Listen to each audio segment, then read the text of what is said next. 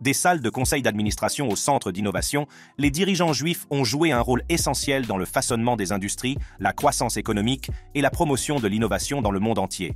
La communauté juive est à l'origine d'un groupe exceptionnel de dirigeants qui se sont tissés aux plus hauts échelons de la réussite d'entreprise. De la technologie à la finance, en passant par le divertissement et la philanthropie, les dirigeants juifs présentés dans cette compilation exclusive ont fait preuve d'un mélange unique d'innovation, de résilience et d'engagement à faire la différence. Seuls dirigeants juifs possèdent des entreprises qui dirigent secrètement le monde. Jetons un coup d'œil à leur extraordinaire réussite. Sergey Brin, Sergey Brin, né le 21 août 1973 à Moscou, en Russie, est un informaticien de renom, un entrepreneur et l'un des cofondateurs de Google, le moteur de recherche le plus utilisé au monde et un géant de la technologie.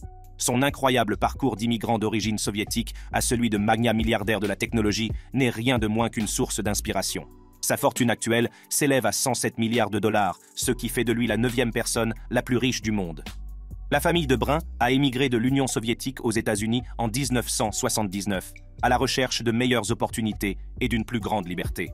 Son père, mathématicien, et sa mère, chercheuse au Goddard Space Flight Center de la NASA, lui ont inculqué très tôt le goût de l'exploration et de l'apprentissage. En grandissant dans le Maryland, Brin a développé sa curiosité intellectuelle et sa passion pour la technologie, ce qui l'a amené à poursuivre des études supérieures à l'université de Stanford. Alors qu'il étudie l'informatique et les mathématiques à Stanford, Sergey Brin croise le chemin de Larry Page, un autre brillant étudiant juif qui partage sa vision de révolutionner la manière dont les gens accèdent à l'information sur l'Internet. Ensemble, ils ont cofondé Google en 1998, initialement sous la forme d'un projet de recherche baptisé Backrub, alors qu'ils poursuivaient leurs études de doctorat. La mission de l'entreprise était d'organiser la grande quantité d'informations disponibles sur l'Internet et de les rendre universellement accessibles et utiles aux utilisateurs du monde entier. Sous la direction visionnaire de Brin et Page, Google a rapidement gagné en popularité et s'est transformé en une puissance technologique mondiale, changeant à jamais la façon dont les gens interagissent avec l'information en ligne. Les algorithmes de recherche innovants de Google, ainsi que son interface conviviale et sa solide plateforme publicitaire, ont catapulté l'entreprise vers un succès sans précédent. Aujourd'hui, Google domine le marché des moteurs de recherche et est un acteur majeur dans divers secteurs, notamment l'informatique en nuage, le développement de logiciels, l'intelligence artificielle, etc. Au-delà de Google, Sergey Brin a participé à plusieurs autres projets et investissements révolutionnaires. En 2015, il a cofondé Alphabet Inc., la société mère de Google, afin de superviser diverses filiales, dont Google elle-même. Par l'intermédiaire d'Alphabet, M. Brin a soutenu des projets Moonshot tels que Google X, aujourd'hui connu sous le nom de X, qui vise à développer des technologies révolutionnaires et à résoudre d'importants problèmes mondiaux. Connu pour son état d'esprit avant-gardiste et sa curiosité intellectuelle, Sergey Brin est resté activement engagé dans l'exploration des technologies émergentes et des percées scientifiques. Il a manifesté un vif intérêt pour des domaines tels que la biotechnologie, l'exploration spatiale et les énergies renouvelables, mettant ses ressources et son expertise au service d'entreprises susceptibles d'avoir un impact positif sur l'humanité. Malgré son immense succès, Sergey Brin est resté relativement discret par rapport à d'autres grands noms de la technologie, préférant se concentrer sur son travail et ses efforts philanthropiques. Il a consacré une part importante de sa fortune à diverses causes caritatives par l'intermédiaire de la fondation Brin Wojcicki. Les contributions de Sergey Brin au secteur technologique et à la société en général lui ont valu de nombreuses distinctions et reconnaissances, il a figuré à plusieurs reprises dans les classements Forbes des milliardaires et des personnes les plus puissantes, et son esprit d'innovation et d'entreprise continue d'inspirer les entrepreneurs technologiques en herbe et les passionnés du monde entier. Grâce à son dévouement constant à l'innovation et à la philanthropie, l'impact de Sergey Brin sur le monde témoigne du pouvoir de la passion, de l'ingéniosité et de la poursuite de la connaissance. Fait moins connu, Sergey Brin a fait don de plus de 100 millions de dollars à la recherche sur la maladie de Parkinson. Larry Ellison, Lawrence Joseph Ellison, plus connu sous le nom de Larry Ellison, né le 17 août 1944 à New York, est un entrepreneur légendaire, développeur de logiciels, cofondateur et ancien PDG d'Oracle Corporation, l'une des plus grandes entreprises technologiques au monde. Avec une valeur nette impressionnante de 131 milliards de dollars, sa réussite témoigne du pouvoir de la résilience, de l'innovation et de la ténacité face aux défis. Ellison est la quatrième personne la plus riche du monde. Les premières années d'Ellison ont été marquées par l'adversité. Né d'une mère célibataire, il a été adopté par son oncle et sa tante.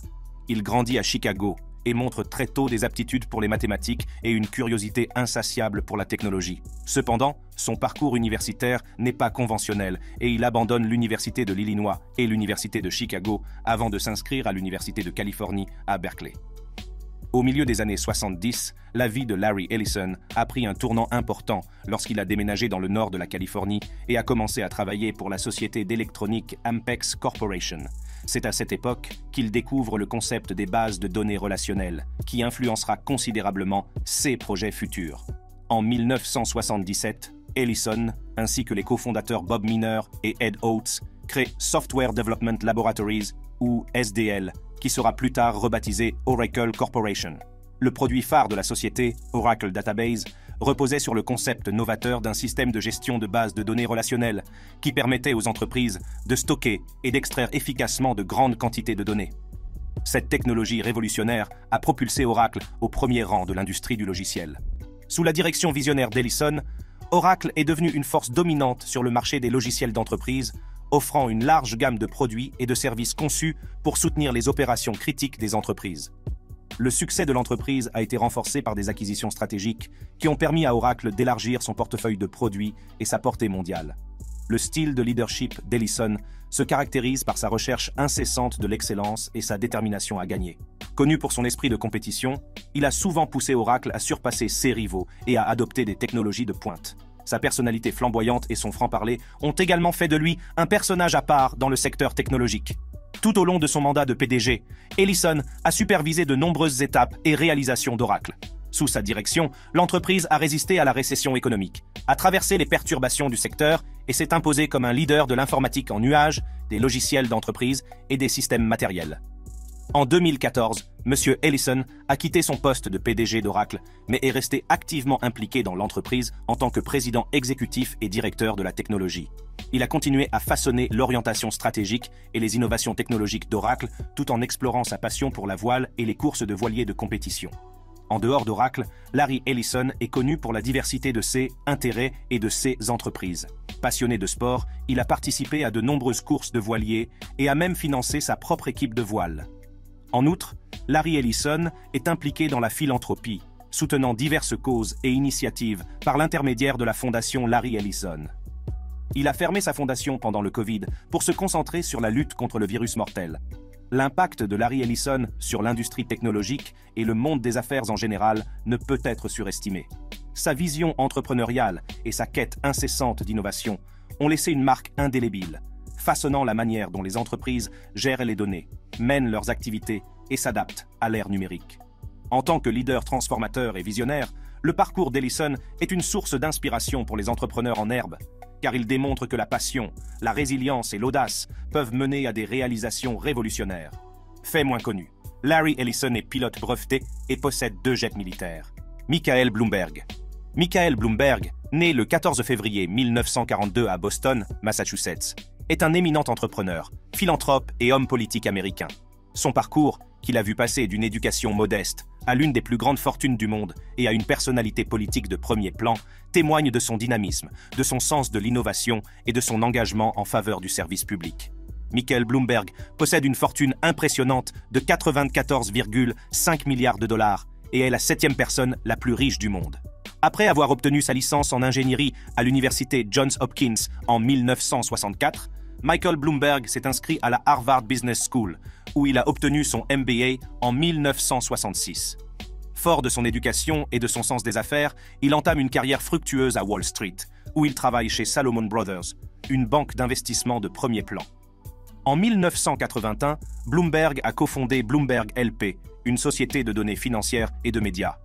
Au départ, la société fournissait des terminaux d'information financière aux professionnels de Wall Street mais elle a fini par étendre son offre à un large éventail de services financiers et commerciaux. L'approche innovante de Bloomberg LP et son engagement à fournir des données et des analyses en temps réel ont consolidé sa position d'acteur de premier plan dans le secteur de l'information financière. Sous la direction de Bloomberg, en tant que PDG, l'entreprise a prospéré et Bloomberg a accumulé une fortune considérable, ce qui fait de lui l'une des personnes les plus riches du monde. Au-delà de sa réussite financière, Bloomberg LP s'est fait connaître pour son engagement en faveur d'une information précise et impartiale et d'une technologie financière de pointe. Si les réalisations de Bloomberg dans le monde des affaires ont été considérables, il a également ressenti un fort sentiment de responsabilité à l'égard de la société. Tout au long de sa vie, il s'est profondément engagé dans la philanthropie, soutenant diverses causes liées à la santé publique, à l'éducation, à l'environnement et au contrôle des armes à feu, entre autres. En 2001, Michael Bloomberg est entré dans le monde de la politique et a été élu 108e maire de New York. En tant que maire, il s'est fait une réputation pour son approche pragmatique de la gouvernance et pour l'importance qu'il accorde aux politiques fondées sur des données. Son mandat a été marqué par des initiatives visant à améliorer la santé publique, à renforcer la sécurité publique et à promouvoir la durabilité environnementale. Il a notamment défendu des mesures de santé publique telles que l'interdiction de fumer dans les lieux fermés comme les bars, les restaurants et les bureaux, et a lancé des initiatives pour lutter contre l'obésité. La mairie de Bloomberg a également reflété son engagement à lutter contre le changement climatique et ses conséquences. Il a lancé Plan IC, un ambitieux plan de développement durable visant à réduire les émissions de gaz à effet de serre, à étendre les espaces verts et à améliorer les transports publics. Ces efforts lui ont valu d'être reconnu sur la scène internationale comme l'un des principaux défenseurs de l'action climatique. Après ses trois mandats de maire, Bloomberg est resté actif dans la vie publique et a poursuivi ses activités philanthropiques. Il s'est également brièvement porté candidat à l'investiture démocrate pour l'élection présidentielle américaine de 2020. Outre ses activités politiques et philanthropiques, Michael Bloomberg est l'auteur de plusieurs livres, dont Bloomberg by Bloomberg, dans lequel il expose sa philosophie des affaires et ses principes de leadership. La vie et la carrière de Michael Bloomberg illustrent le pouvoir de la vision, de la détermination et de la responsabilité sociale. Son impact s'étend au-delà du monde des affaires ses initiatives philanthropiques et ses contributions politiques, laissant un héritage durable de changements positifs dans des domaines qui touchent la vie de millions de personnes. En tant que pionnier dans les secteurs privés et publics, Bloomberg continue d'inspirer des générations d'entrepreneurs et de dirigeants dans le monde entier. Fait moins connu. Michael Bloomberg est un défenseur de l'égalité des personnes LGBTQ, et a soutenu de nombreuses initiatives visant à promouvoir l'inclusion et l'égalité des droits pour tous. Mark Zuckerberg, Mark Zuckerberg, né le 14 mai 1984 à White Plains, dans l'État de New York, est un entrepreneur technologique, un programmeur et le cofondateur et PDG de Facebook, la plus grande plateforme de médias sociaux au monde. Sa création a révolutionné la manière dont les gens se connectent, communiquent et partagent des informations dans le monde entier, faisant de lui l'une des figures les plus influentes de la technologie moderne et du monde des affaires. Aujourd'hui, la valeur nette de Mark Zuckerberg s'élève à 85 milliards de dollars, ce qui fait de lui la 14e personne la plus riche du monde. L'intérêt de Mark Zuckerberg pour la programmation s'est manifesté dès son plus jeune âge. Il était un codeur prodigieux et a développé un programme de messagerie appelé ZuckNet, alors qu'il n'avait que 12 ans. Cette plateforme de messagerie permettait à son père dentiste de partager des données sur ses patients avec d'autres dentistes. Sa passion pour la technologie n'a cessé de croître et il s'est inscrit à l'université de Harvard en 2002. L'esprit d'entreprise de Zuckerberg l'a conduit à créer FaceMash, un site web qui permettait aux étudiants d'évaluer l'attractivité de leurs camarades à partir de photos. Ce projet, bien que controversé, a donné un aperçu de la capacité de Zuckerberg à mettre la technologie au service des relations sociales. Zuckerberg a également développé un programme appelé Course Match, ce logiciel innovant permet aux utilisateurs de prendre des décisions éclairées quant au choix de leurs cours en tenant compte des choix des autres étudiants. En outre, Course Match facilite la formation de groupes d'études, aidant les étudiants à entrer en contact avec d'autres personnes partageant les mêmes intérêts et objectifs académiques. En février 2004, Zuckerberg et ses amis ont lancé The Facebook depuis leur dortoir. D'abord réservée aux étudiants de Harvard, la plateforme de réseau social a rapidement gagné en popularité. Zuckerberg a fini par abandonner Harvard et s'est installé dans la Silicon Valley, où le site a été officiellement rebaptisé Facebook. Elle s'est ensuite étendue à d'autres universités de l'Ivy League et à d'autres établissements d'enseignement supérieur aux États-Unis, puis au monde entier. Au fil des ans, Facebook a connu une croissance exponentielle et est devenu une sensation mondiale, connectant des personnes de tous les coins du monde. Ses fonctionnalités innovantes, son interface conviviale et l'accent mis sur le partage de contenu et l'établissement de relations en ont fait un élément central de l'interaction sociale moderne en ligne. En 2012, Facebook a organisé son introduction en bourse très attendue, faisant de Zuckerberg l'un des plus jeunes milliardaires de l'histoire. Malgré les difficultés rencontrées par l'entreprise, notamment en matière de protection de la vie privée et de modération des contenus, M. Zuckerberg est resté fidèle à son engagement de favoriser l'émergence d'une communauté mondiale et de repousser les limites de la technologie. Le 28 octobre 2021, l'entreprise précédemment connue sous le nom de Facebook, Inc., a changé de nom et est devenue Meta Platforms, Inc., également connue sous le nom de Meta. Zuckerberg a regroupé de nombreuses plateformes de médias sociaux et d'applications de messagerie populaire au sein de la société mère, Meta. Instagram a fonctionné de manière indépendante jusqu'à ce qu'il soit acheté par Zuckerberg pour la somme astronomique d'un milliard de dollars en 2012. Zuckerberg a également acheté WhatsApp pour 19 milliards de dollars en 2014. Meta a également acquis Oculus VR, une société de technologie verticale, Onavo, une société d'analyse web mobile, et Beluga, un service de messagerie.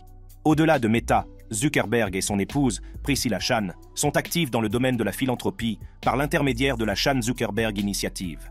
Cette initiative vise à faire progresser l'éducation, la science et les soins de santé, tout en s'efforçant de promouvoir l'égalité pour tous les enfants, indépendamment de leur classe, de leur race, de leur appartenance ethnique et de leur sexe, au sein de la prochaine génération. Le style de leadership de Zuckerberg se caractérise par sa passion pour la technologie et sa vision ambitieuse de l'avenir. Il a défendu des initiatives visant à connecter le monde, à étendre l'accès à l'Internet et à utiliser l'intelligence artificielle pour relever les défis mondiaux. Malgré les critiques et l'examen minutieux, Zuckerberg s'est montré déterminé à apprendre de ses erreurs et à adapter les politiques de Facebook afin de créer un environnement en ligne plus sûr et plus responsable.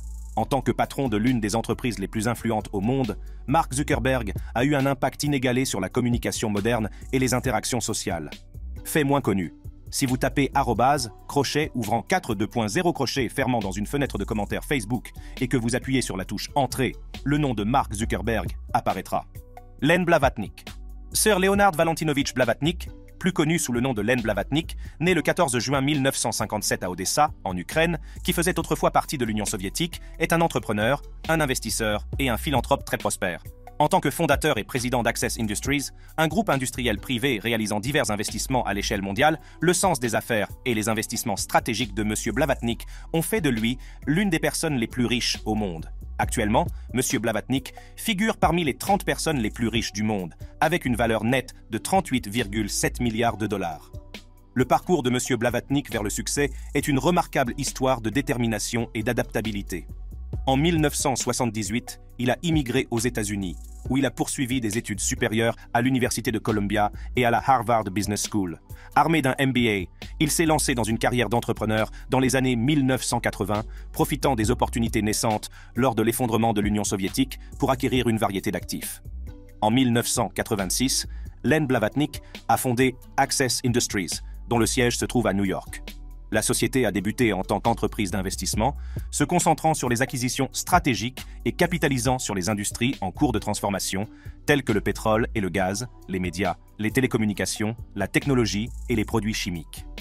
Le portefeuille d'investissement d'Access Industries comprend un large éventail d'entreprises mondiales et l'œil avisé de M. Blavatnik pour repérer les opportunités de marché a permis de mener à bien des projets et d'obtenir des rendements significatifs. Ces investissements stratégiques ont inclus des participations dans Warner Music Group, Bassel et UC Rusal, entre autres. Warner Music Group en particulier a été l'une des acquisitions les plus médiatisées de M. Blavatnik. Par l'intermédiaire d'Access Industries, il a acheté la société en 2011 pour 3,3 milliards de dollars et a depuis joué un rôle essentiel dans sa croissance et son expansion à l'ère de la musique numérique. Outre ses activités entrepreneuriales, Len Blavatnik est un philanthrope engagé il a créé la fondation de la famille Blavatnik, qui soutient diverses causes caritatives et institutions éducatives dans le monde entier. Les contributions de la fondation ont été substantielles, finançant des initiatives dans les domaines de l'éducation, de la recherche scientifique, des institutions culturelles et des soins de santé. La philanthropie de M. Blavatnik se concentre également sur la promotion des avancées scientifiques. Les prix Blavatnik pour les jeunes scientifiques, créés en partenariat avec la prestigieuse institution New York Academy of Sciences, récompense des scientifiques exceptionnels en début de carrière et leur apportent un soutien financier et une reconnaissance pour leurs recherches novatrices. Les réalisations de M. Blavatnik lui ont valu de nombreuses distinctions et reconnaissances.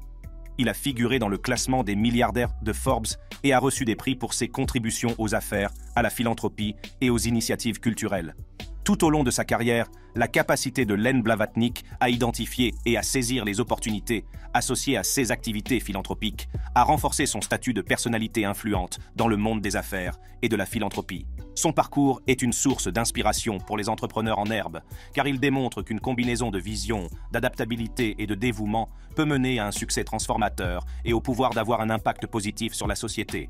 Fait moins connu, Len passe la plupart de son temps à Londres et à New York, Il possède une maison à Kensington Palace Gardens, au Royaume-Uni, qui vaut actuellement plus de 315 millions de dollars. À New York, il a acheté l'appartement du propriétaire des New York Jets, Woody Johnson, pour 75 millions de dollars. Larry Page. Larry Page, né le 26 mars 1973 à Lansing, dans le Michigan, est un informaticien américain, un entrepreneur et l'un des cofondateurs de Google, l'une des entreprises technologiques les plus influentes au monde. Nous avons déjà parlé de Sergey Brin, l'autre cofondateur de Google. Ce duo juif a changé le monde de l'Internet en introduisant Google. Le travail de pionnier de Larry dans le domaine de la technologie de recherche sur l'Internet a révolutionné la manière dont les gens accèdent à l'information, ce qui fait de lui un personnage clé de l'ère numérique. Il est la huitième personne la plus riche du monde, avec une fortune astronomique de 112 milliards de dollars. Dès son plus jeune âge, Larry Page a manifesté un vif intérêt pour les ordinateurs et la technologie. Il a obtenu un diplôme en ingénierie informatique avec mention à l'Université du Michigan avant de poursuivre un doctorat en informatique à l'Université de Stanford. C'est au cours de son séjour à Stanford que les idées révolutionnaires de M. Page ont commencé à prendre forme. En 1996, alors qu'il était encore étudiant en doctorat, Larry Page s'est associé à un autre étudiant de Stanford, Sergey Brin, pour développer un algorithme de moteur de recherche révolutionnaire connu sous le nom de Backrub. Cet algorithme classait les pages web en fonction de leur pertinence et de leur importance, jetant ainsi les bases de ceux qui allaient devenir Google. En 1988, Page et Brin lancent officiellement Google, dont le nom est inspiré d'une erreur d'orthographe du terme mathématique Google, qui représente le chiffre 1 suivi de 100 zéros. La mission de l'entreprise était d'organiser l'immense quantité d'informations présentes sur l'Internet et de les rendre accessibles et utiles aux utilisateurs du monde entier.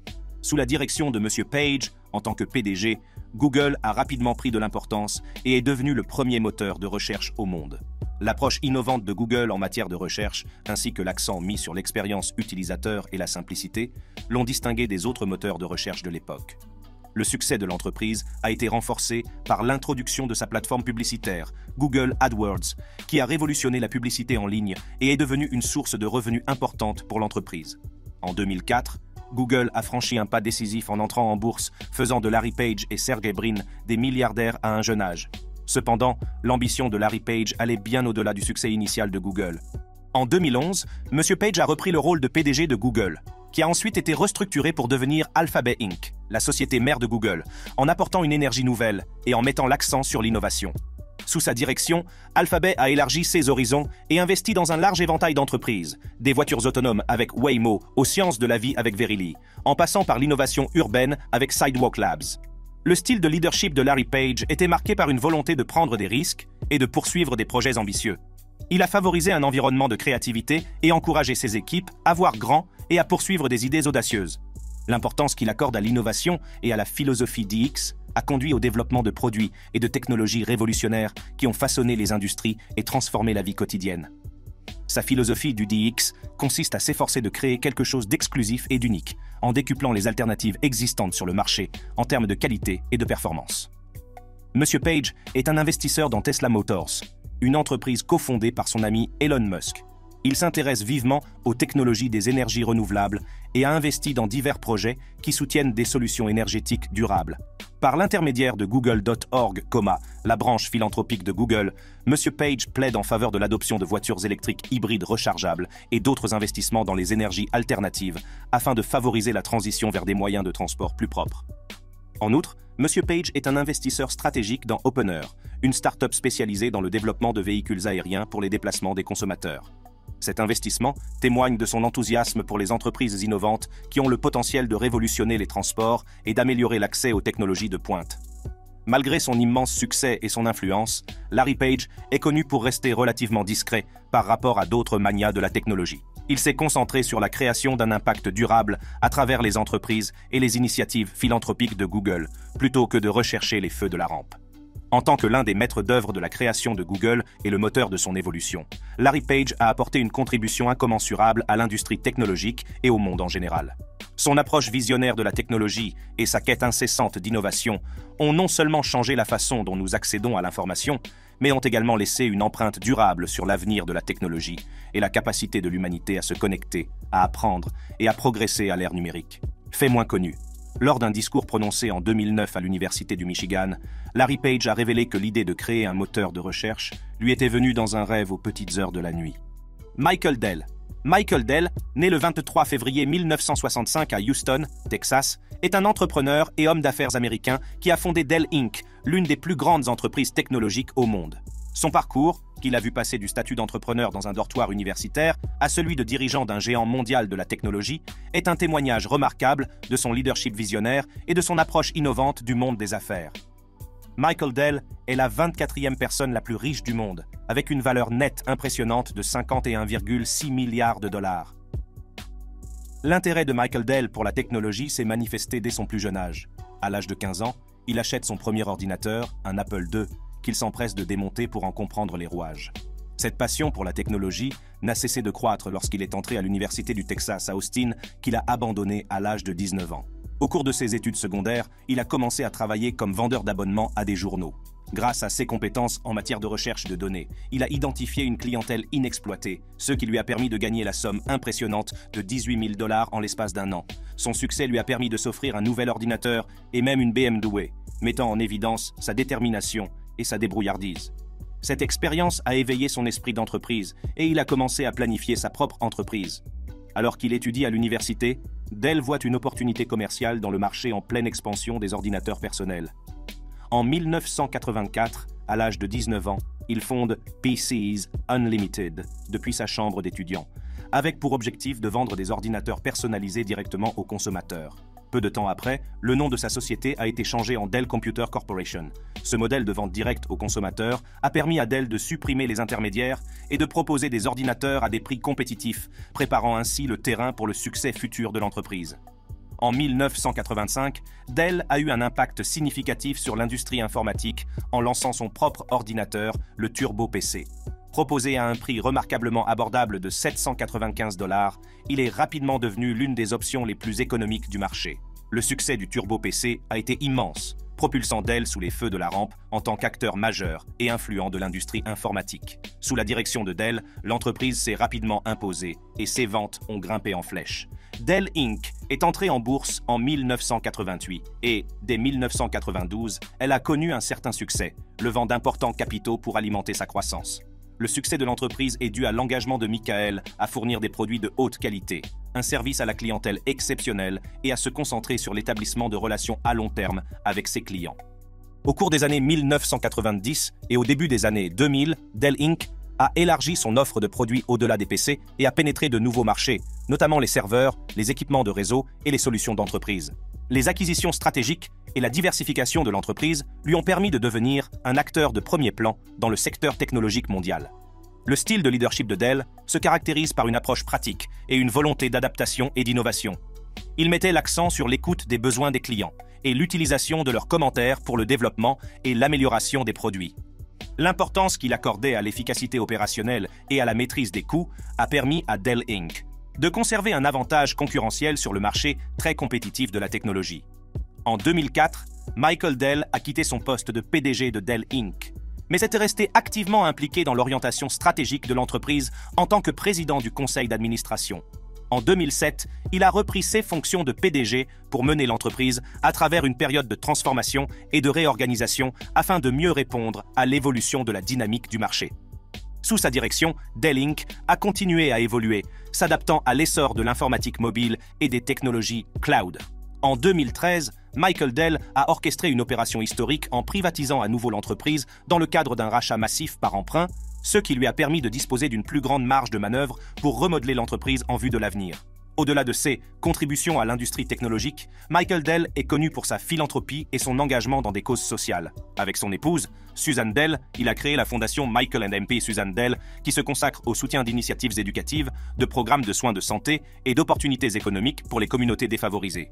L'esprit d'entreprise de Michael Dell, son sens de l'innovation et son attachement à des principes centrés sur le client ont fait de lui un précurseur dans le monde de la technologie. Son parcours de jeune étudiant passionné d'informatique à dirigeant d'une multinationale technologique illustre le pouvoir de la vision, de la détermination et de l'adaptabilité dans la réussite d'une entreprise. En tant que pionnier de l'industrie technologique et philanthrope engagé dans la création de changements positifs, l'impact de Michael Dell s'étend bien au-delà du domaine de la technologie, laissant un héritage durable sur les entreprises, l'éducation et la société dans son ensemble. Fait moins connu, en 2002, Michael Dell a reçu un doctorat honorifique en sciences économiques de l'Université de Limerick. Ralph Lauren. Ralph Lauren naît Ralph Lifshitz le 14 octobre 1939 dans le Bronx, à New York, est un créateur de mode américain emblématique et un magnat des affaires. Connu pour ses créations intemporelles et élégantes, il est devenu l'une des figures les plus influentes de l'industrie mondiale de la mode. Le fondateur de Ralph Lauren Corporation dispose d'une valeur nette stupéfiante de 8 milliards de dollars, ce qui lui vaut de figurer parmi les 100 personnes les plus riches d'Amérique. Malheureusement, Ralph a été victime de brimades à l'école en raison de son nom de famille et de son origine juive, ce qui l'a amené à changer de nom de famille. Il a ensuite étudié le commerce au Baruch College de la City University of New York, mais a abandonné ses études au bout de deux ans. Le parcours de Lorraine dans la mode a commencé dans les années 1960, lorsqu'il a travaillé comme assistant de vente pour Brooks Brothers. Il a également travaillé pour quelques autres entreprises en tant que vendeur de cravates. C'est à cette époque qu'il commence à développer une vision pour sa propre ligne de vêtements, inspirée par le style de vie luxueux et l'élégance classique de l'élite américaine. En 1967, avec un petit prêt et une passion pour la mode, Ralph Lauren a créé la Ralph Lauren Corporation, spécialisée dans la conception de cravates, avant de lancer sa marque éponyme, Polo Ralph Lauren, en 1968. Travaillant dans un modeste tiroir au sein d'une salle d'exposition située dans l'emblématique Empire State Building, il a mené ses affaires sans relâche. Il s'occupait personnellement des livraisons aux différents magasins, ce qui reflétait son approche pratique et déterminée de la création de son entreprise. Sa première collection comprenait une ligne de cravates pour hommes, qui a rapidement gagné en popularité grâce à ses designs uniques et à ses matériaux de haute qualité. Le logo emblématique de Polo, représentant un joueur de polo à cheval, est devenu synonyme de luxe intemporel et de sophistication. Les créations de Lorraine ont touché une corde sensible chez les consommateurs et ont capturé l'essence du rêve américain, évoquant un sentiment d'aspiration à la vie et à l'élégance. Son approche novatrice de la stratégie de marque et du marketing de style de vie a contribué à faire de Polo Ralph Lauren une marque de luxe mondiale. Au cours des années suivantes, la marque a élargi son offre de produits pour inclure des vêtements pour hommes et femmes, des accessoires, des parfums et des articles d'ameublement. La société Ralph Lauren Corporation est devenue un symbole du style classique et BCBG et est aujourd'hui un acteur majeur de l'industrie de la mode de luxe. Les créations de Ralph Lauren s'inspirent souvent de diverses sources, telles que les vêtements vintage, le sport et l'esprit de l'Ouest américain. Il est réputé pour son souci du détail et sa capacité à créer des vêtements qui allient harmonieusement élégance traditionnelle et sensibilité moderne. En mars 1978, les premiers parfums Ralph Lauren ont fait leur apparition chez Bloomingdale's grâce à Warner Lauren Limited C deux parfums Lorraine, pour les femmes et Polo pour les hommes, ont marqué un tournant en introduisant simultanément un duo de parfums pour les deux sexes. S'engageant sur la voie de l'expansion mondiale, la société s'aventure sur le marché européen et, en 1981, célèbre l'inauguration de la première boutique indépendante d'un créateur américain sur la prestigieuse New Bond Street à Londres, en Angleterre. En 1992, Ralph Lauren a dévoilé la ligne Polo Sport, dont le succès a encouragé l'introduction de plus de 10 autres lignes et marques acquises. Parmi celles-ci, Ralph Lauren Purple Label, lancé en 1995, et Lauren Ralph Lauren, lancé en 1996. Ces mouvements stratégiques ont renforcé la position de Ralph Lauren en tant qu'acteur diversifié et influent de l'industrie de la mode. En 2000, l'entreprise s'est aventurée dans le domaine numérique en lançant son site web et sa boutique en ligne sous le nom de polo.com en collaboration avec RL Media, un effort conjoint entre Ralph Lauren et National Broadcasting Company. Sept ans plus tard, Ralph Lauren Corporation a racheté les parts de RL Media détenues par NBC, ce qui a permis de relancer le site web sous le nom de ralphlauren.com. En 2008, Ralph Lauren Corporation a pris une décision importante en lançant la marque American Living en exclusivité pour JCPenney. Il s'agit d'un événement majeur qui marque le plus grand lancement de marque intercatégorie dans l'histoire de Ralph Lauren et de JCPenney le 29 septembre 2015, une annonce a été faite révélant que Stéphane Larson occuperait le poste de PDG en remplacement du fondateur de la société, Ralph Lauren, à partir du mois de novembre. Malgré son départ du poste de PDG, Ralph Lauren continuera à jouer un rôle important au sein de l'entreprise, en occupant les postes de président exécutif et de directeur de la création. Au-delà de ses contributions au monde de la mode, Ralph Lauren s'est activement impliqué dans des initiatives philanthropiques et culturelles. La Ralph Lauren Corporation a soutenu de nombreuses causes caritatives, notamment la recherche sur le cancer, les secours en cas de catastrophe et les programmes éducatifs. En 2010, Ralph Lauren a été nommé chevalier de la Légion d'honneur par le président français Nicolas Sarkozy pour sa contribution à l'industrie de la mode. Cette reconnaissance est intervenue à un moment important, alors que Ralph Lauren inaugurait en personne son nouveau magasin phare en France, qui est désormais le plus grand magasin de la marque en Europe. Tout au long de sa carrière, Ralph Lauren a eu un impact considérable sur l'industrie de la mode. Il a reçu de nombreux prix et distinctions, notamment plusieurs prix du Council of Fashion Designers of America, et Lauren est le seul à avoir reçu le prestigieux CFDA Lifetime Achievement Award. En 2018, il a reçu le tout premier CFDA Member Salute en reconnaissance de ses réalisations remarquables et de son influence durable sur la mode américaine. L'héritage de Ralph Lauren, en tant qu'icône de la mode et créateur visionnaire, continue d'inspirer de nouvelles générations de créateurs et de passionnés de mode dans le monde entier. Son engagement en faveur de l'élégance intemporelle et de la recherche de l'excellence a fait de lui une véritable icône de la mode américaine, et la portée mondiale et la popularité durable de sa marque témoignent de son talent extraordinaire et de sa vision créative. Fait moins connu, Lorraine a fait plus de 100 couvertures de magazines prestigieux tels que Architectural Digest, GQ, Forbes, Town and AMP Country, Time et Vogue. Avec leurs esprits brillants et leurs talents exponentiels, ces leaders juifs dirigent secrètement le monde. Si vous êtes à la recherche d'autres sources d'inspiration et de parcours de réussite, cliquez sur l'une des cartes affichées à l'écran.